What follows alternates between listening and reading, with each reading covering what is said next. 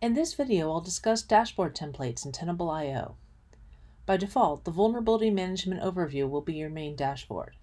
This view has no specific focus, however, so it's hard to see from here what needs to be remediated. Tenable.io has several dashboard templates which can help you focus on analyzing specific types of vulnerabilities and which ones to remediate first. These dashboards can be used for reporting as well. Let's say we want to see at a glance how many assets are missing patches and how many patches are missing on each asset. The Outstanding Remediation Tracking dashboard can help with that.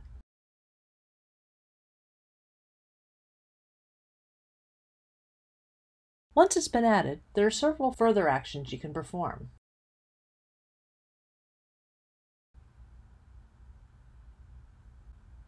Set as default to make this dashboard the default view every time you log in. Filters change the asset focus for all widgets on the dashboard. This currently can be for all assets, by target group, or custom IP range.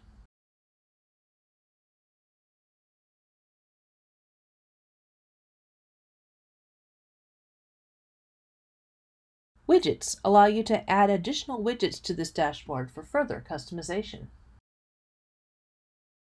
Once you have your dashboard set up the way you need, can use it to create reports.